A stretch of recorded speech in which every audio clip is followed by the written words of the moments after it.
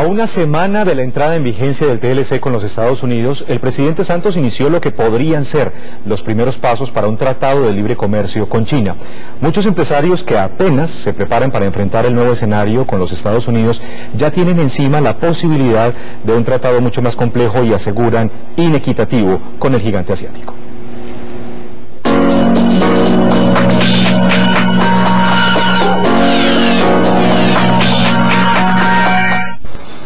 Aunque el reto inmediato es el TLC con Estados Unidos y otros acuerdos ya aprobados, lo que trasnocha a muchos empresarios son las conversaciones que Juan Manuel Santos inició en China para un posible tratado de libre comercio con ese país. Estados Unidos es una cosa, pero China son palabras mayores. A mí la noticia de hoy de un acuerdo de libre comercio con China me tiene realmente preocupada. Creo que esta noche no voy a poder dormir y creo que muchos industriales tienen motivos para, para tener muchos eh, desvelos esta noche.